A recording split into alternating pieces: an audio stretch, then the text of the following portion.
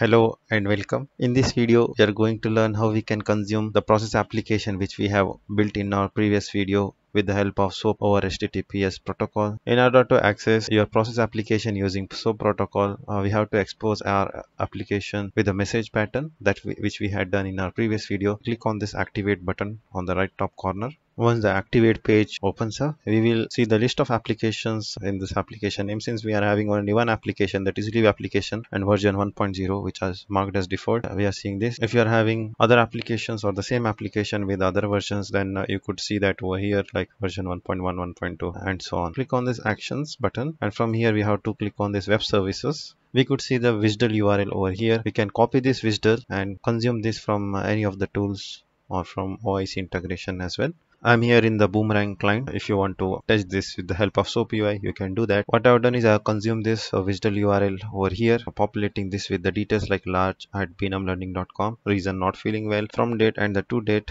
Uh, if you don't know uh, what this application does, please check out my video on how to create an integration that invokes a process. Once you have populated the details, click on the send button this is asynchronous service. If you have built as a, synchronous service when we then we can uh, get the response uh, over here. As this is asynchronous we are getting the response as accepted. Now we will go to our my task screen and check if we got the request from Raj regarding his leave approval.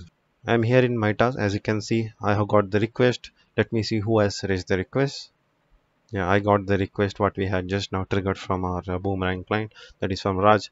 Uh, reason is not feeling well from date and the to date. We can approve or reject. I'm rejecting his leave application.